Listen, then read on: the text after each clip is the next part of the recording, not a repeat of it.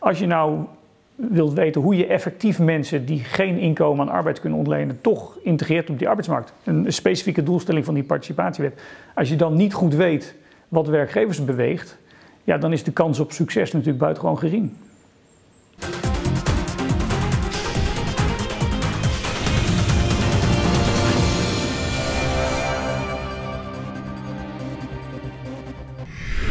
De arbeidsmarkt in Nederland kent eigenlijk niet een heel groot generiek probleem. Natuurlijk, die arbeidsmarkt uh, is zeer geraakt ook door de crisis en daardoor is de werkloosheid opgelopen. Maar voor de crisis hadden wij de beste arbeidsmarktuitkomsten van Europa, misschien wel van de wereld, op het gebied van lage werkloosheid, hoge arbeidsdeelname, hoge arbeidsproductiviteit, weinig arbeidsonrust. En de instituties die daarvoor gezorgd hebben, die kunnen nu niet verantwoordelijk zijn dat het zo slecht gaat. Um, dus dat het nu wat slechter gaat op de arbeidsmarkt heeft een zuiver conjuncturele achtergrond. En er is niet een groot structureel generiek probleem op de Nederlandse arbeidsmarkt.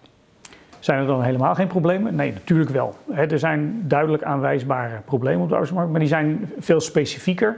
Er is een probleem met ouderen die zonder werk raken. Die komen buitengewoon moeizaam weer terug op die arbeidsmarkt. Er is een probleem met mensen die te lang van flexbanen afhankelijk blijven, uh, inclusief wat ZZP'ers die het slecht hebben. En er is een probleem uh, met mensen die duurzaam niet uh, betaalde arbeid hebben. En dat probleem hebben we ook al jaren. Dat zijn mensen die in de bijstand zitten. Dat zijn mensen die onder de doelgroep van de nieuwe participatiewet vallen. Dat zijn specifieke problemen die om een specifieke oplossing in termen van beleid vragen. Um, en in die zin zou je ook kunnen zeggen dat de nieuwe wet werk en zekerheid dat je daar geen grote positieve dan wel negatieve effecten van hoeft te verwachten, omdat de conjunctuur voor het, voor het gemiddeld functioneren van die arbeidsmarkt veel belangrijker is dan de beleidsinspanningen die de boven ons gestelde daarvoor doen. Als je praat over beleid maken, en het lijkt misschien een open deur, dan is het wel goed om te weten waarom werkgevers mensen in dienst nemen. Ja, en, en, en dan, dan is eigenlijk de vaststelling dat we daar teleurstellend weinig van weten nog. Uh, als je kijkt naar het onderzoek wat we, wat we bijvoorbeeld bij Reflect gedaan hebben naar, het, uh, naar de mogelijke kansen op succes van de nieuwe participatiewet. Als je dan zoekt naar literatuur over wat beweegt werkgevers nu om iemand wel of niet in dienst te nemen, nog even los van de eventuele handicap die iemand heeft, dan betekent, daar is eigenlijk heel weinig over bekend. En we hebben zelf wat onderzoek gedaan en, en het is in ieder geval een veel breder palet aan, aan, aan, aspecten dat een rol speelt dan de simpele kosten-batenafweging die we als economen vaak veronderstellen. Uh, als economen veronderstellen we vaak, nou, een, een, een werkgever, een, een, bedrijf heeft omzet en verwacht bijvoorbeeld omzetgroei.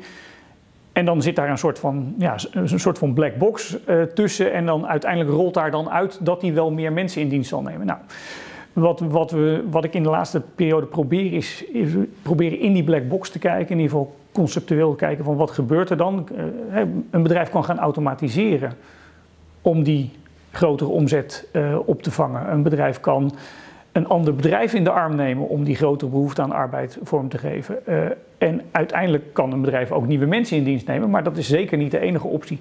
En als je nou kijkt naar die wat kleinere beslissingen over, over het al dan niet in dienst nemen van werknemers, dan weten we daar dus nog steeds teleurstellend weinig van.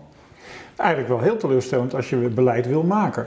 Ja, en, en, dat, en dat is vooral met, met, met grote dossiers als robotisering bijvoorbeeld, waar, waar de keuze voor technologie en de daarvan afgeleide keuze voor het inzetten van arbeid en, en welke arbeid, eh, dan, dan sta je eigenlijk nog met lege handen in het onderzoek over wat, wat dan de gevolgen van robotisering zijn.